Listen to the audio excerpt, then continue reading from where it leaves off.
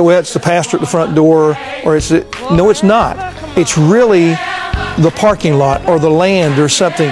Tell us a little bit about what happens when somebody drives up on the on the church grounds. Is there something that needs to be there to say to them, "Hey, you're welcome"? Yes, it does. So let, let, me just first share with this. Studies indicate that the first four to eight minutes are crucial to the worship experience and that people often make up their mind whether they'll ever return to a church based on those first four to eight minutes. Wow. So what happens during those first four to eight minutes is the question.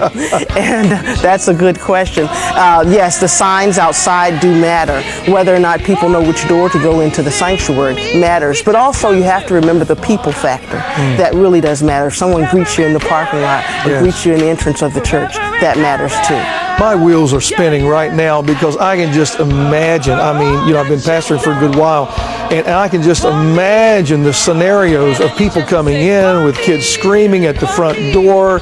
Here comes little Johnny running through the narthex. Um, you got a husband and wife over here. Unfortunately, they've chosen to have a discussion out in front of everybody else about why they're late for church.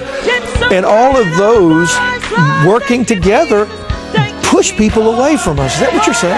It, it, can impact the experience because what happens when people come to church, we don't know why God sent them. Mm. And we have to understand that God is at work when people show up on our doorsteps. And so what matters to us is that we have to show our Christian love mm. in ways that we welcome others into